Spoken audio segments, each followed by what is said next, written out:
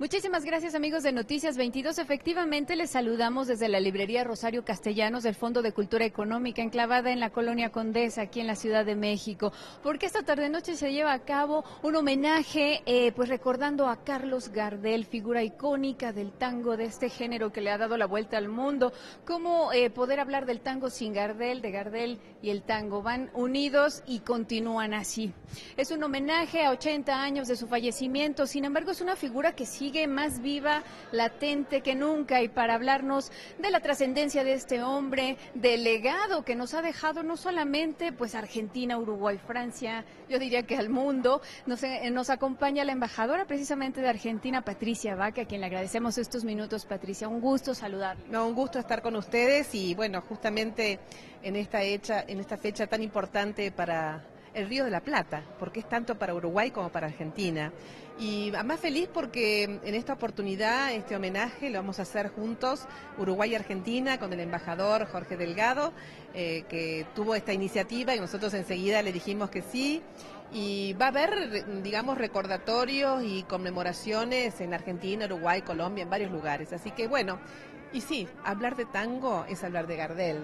El inicio del tango se dio con la aparición de, él en los barrios suburbanos. El tango cuando se inicia era prohibido, era malo, era feo.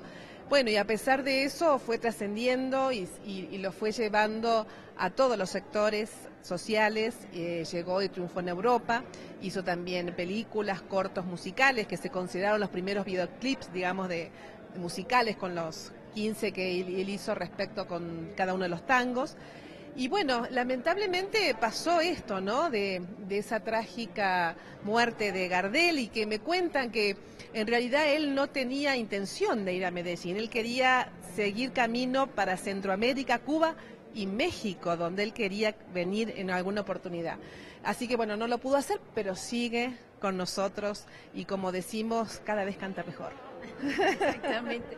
Ahora, hablar de este hombre conocido como el de la voz blanca, se decía él a sí mismo. El mudo. El mudo, el, bueno, el morocho del abasto, que hablaba desde el arrabal y todo esto. Hay que decir, Patricia, que bueno, no por nada en 2003 la UNESCO lo registra en este programa de eh, eh, figuras y momentos del mundo Sí, entonces esto qué es, bueno, pues que se reconoce precisamente documentos patrimoniales. Eso le da un plus, hay que subrayarlo. ¿De qué, eh, cómo podemos eh, pues aquilatar en pleno siglo XXI la figura de Gardel? bueno, este, creo que tiene que ver con el reconocimiento de la UNESCO y mundial de nuestras identidades culturales, ¿no? Este, los que reflejan el origen, eh, las identidades a pesar de que las élites en aquel momento no querían que esto fuera la expresión de la argentinidad.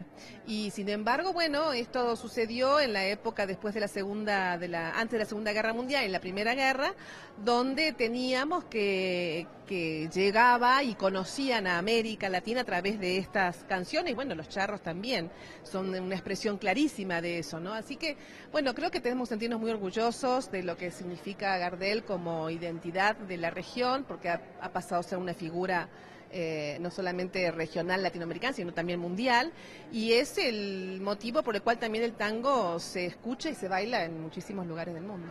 Por lo cual esta noche también no podría faltar el tango, va a haber acordes obviamente y hay una eh, fusión musical interesante entre cantantes y, e instrumentistas uruguayos y argentinos como debe ser para allá eh, limar eh, pues esas polémicas que en este momento quedan saldadas. Para nada, para nada. La verdad que acá ya este Gardel es del Río de la Plata, eh, más allá de lo que cada uno pueda decir en cuanto a investigaciones de dónde nació, lo tenemos como nuestro del Río de la Plata, nos une, no nos separa.